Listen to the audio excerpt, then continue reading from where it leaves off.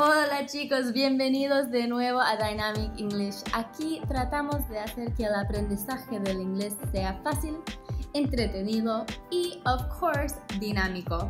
So, si es la primera vez que estás aquí, me llamo Anaís y, bueno, si no estás inscrito a nuestro canal, acá abajo, subscribe clica subscribe, subscribe, subscribe, porque todas las semanas ponemos nuevos vídeos para ayudarte a mejorar tu inglés. Hoy vamos a hablar sobre los false friends o amigos falsos.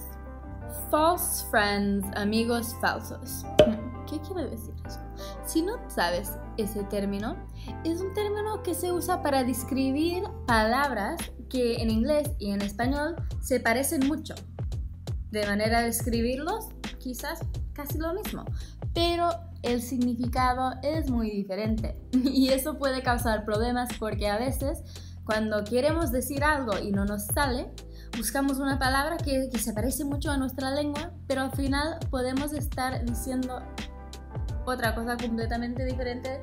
Así que hoy vamos a ver unos de los false friends más importantes y si no lo sabían y si no ya no lo han visto, ya tenemos otro vídeo de False Friends, el Part 1. Esto es Part 2. So, si no has visto Part 1, Part 1 es muy bueno. Ok, the first false friend, lo primero que les quiere decir, bueno, les voy a decir una frase, ¿vale?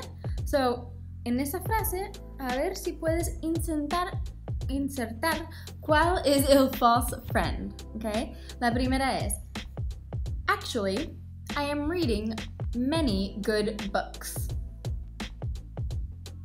Actually, I am reading many good books.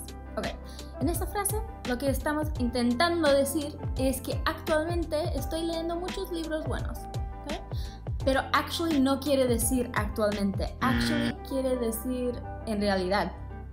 So, no, no estamos diciendo eso. Lo que tenemos que decir en vez de actually para decir actualmente es nowadays. Okay? Nowadays. So, la frase sería, Nowadays, I am reading many good books. Frase número dos. Okay? A ver si encuentras el false friend en esa frase. I advertise you to stay away from that neighborhood. Okay? I advertise you to stay away from that neighborhood. Hay algo aquí que no, que no cuadra. Lo que quizás queremos decir es que te advierto que, no vayas a ese barrio, como una advertencia. Pero advertise no quiere decir advertir. Advertir. Um, advertise quiere decir anuncio. Ok, so I advertise you to stay away from that neighborhood. No puede ser. Sería I advise you to stay away from that neighborhood. So advise is advertir. Number three, many people assisted the party. Many people assisted the party. Aquí donde está el false friend. Si dijiste assisted, es correcto. Assist no quiere decir asistir. Quizás pensabas que estábamos diciendo que mucha gente asistió a la fiesta, ¿no? Como fue, fueron. Um, en inglés no, no es assist. Assist es ayudar. So, no sería mucha gente ayudó a la fiesta, sería, en vez de decir assist, tienes que decir attend. Okay? So, la frase correcta sería Many people attended the party. Number four. Okay? My father is a bomber. No, no lo digas, no lo digas. Por favor. My father is a bomber. No es mi papá es un bombero. Quizás a veces se, mezclan bomber con bombero, pero bomber es una persona que mete bombas. Y no, espero que tu papá no haga eso. So, en vez de decir my father is a bomber, puedes decir, o tienes que decir, my father is a firefighter.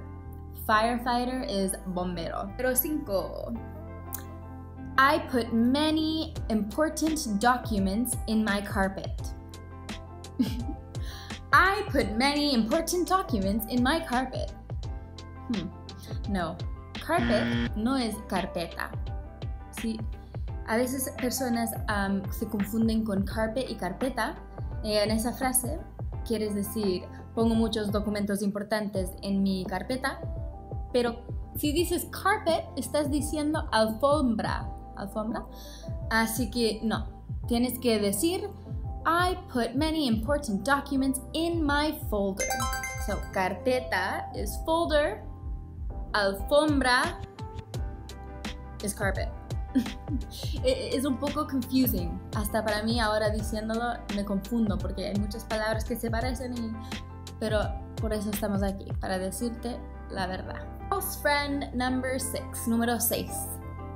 I fell and broke my code. I fell and broke my code. My code, I broke it. code no es codo. Code is código. So, si te caíste y rompiste tu código, no sé cómo lo hiciste, que los códigos son números. so, si quieres decir me caí y me rompió el codo, tienes que decir I fell and broke my elbow. Codo, elbow. 777. Okay. I speak three idioms. I speak three idioms. ¿Sí, no? I speak three idioms. no.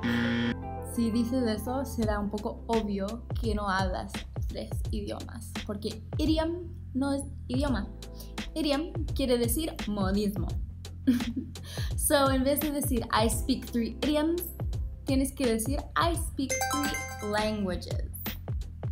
Idioma, language. All right, number eight. Last week, I went shopping and I bought many ropes.